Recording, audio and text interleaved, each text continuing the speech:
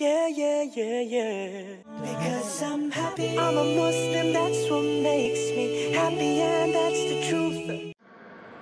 And many of the critics of Islam, they quote the famous verse of the Quran of Surah Tawbah, chapter 9, verse number 5, which says, Wherever you find a kafir, you kill him.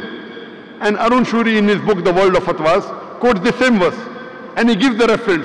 Quran says in Surah Tawbah, chapter 9, verse number 5, wherever you find the kafir, into bracket, he says Hindu, you kill him.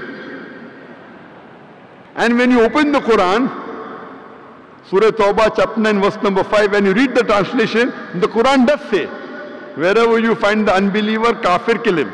But it is out of context.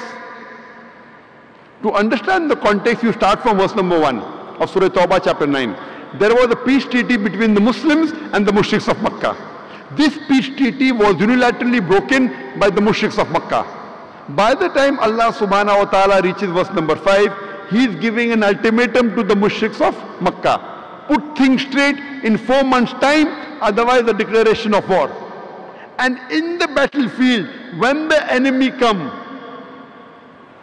when they come to kill you, when they come to attack you. In the battlefield, when the unbelievers come, then kill them. Don't get scared, kill them. And wait for them in every stratagem of war.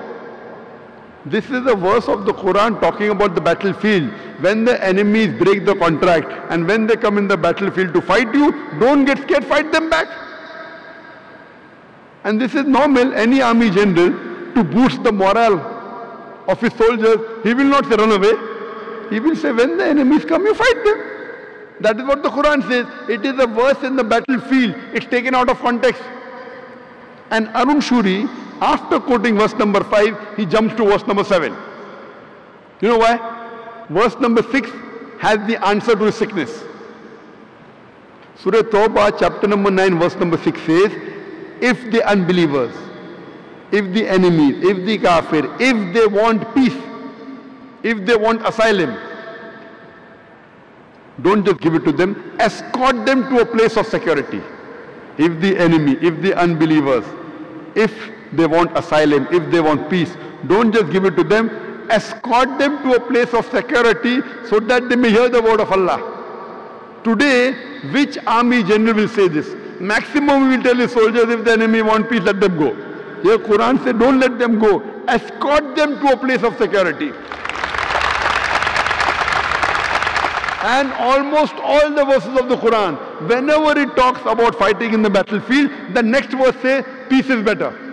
Whichever verse you pick up of the Quran. When it talks about fighting in the battlefield against enemy, immediately next verse says peace is better. Even this verse says, if the enemy want peace, give it to them. And the Quran is very explicit.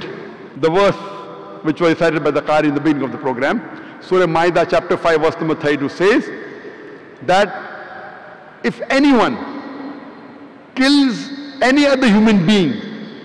Unless it be for murder or for spreading corruption in the land it is as though he has killed the whole of humanity. And if anyone saves any human being it is as though he has saved the whole nation. Here the Quran says if any human being kills any other human being whether Muslim or non-Muslim any human being kills any other human being, whether Muslim or non-Muslim, unless it be for corruption, for spreading corruption, or for murder, it is as though he has killed the whole of humanity.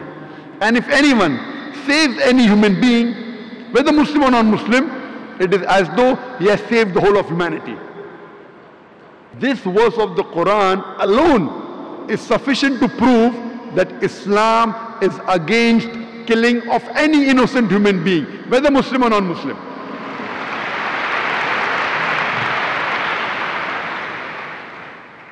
There is no other scripture in the world which says this, that if you kill one human being, you have killed the whole of humanity.